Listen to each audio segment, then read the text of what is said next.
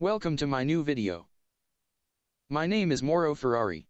NFTs turn your digital assets into one of a kind by creating a unique digital signature, which defines the ownership of your assets and that can be bought and sold for real money, cryptocurrency, or any other asset, like a non-fungible token, aka NFT. Non-fungible tokens means that they are not interchangeable, and each of them represents unique assets owned by a specific person.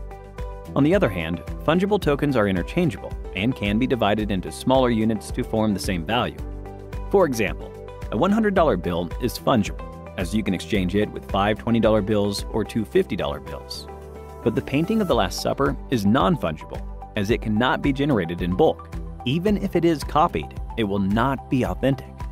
Each NFT contains distinguishable information like who owns the digital asset and who sold it, making them distinct and easily verifiable.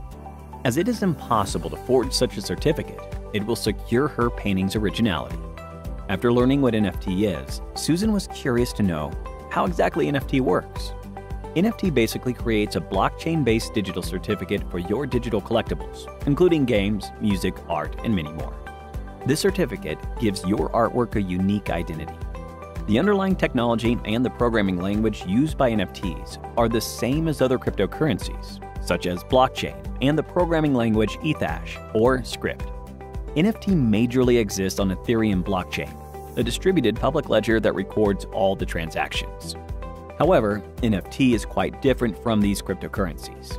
Bitcoin and Ethereum are fungible tokens, which means if you trade Bitcoin or Ethereum for one another, you will have the same value or item in return, basically money. On the other hand, NFT is a unique token. Therefore, if you try to trade it, you may end up with something completely different in your hands.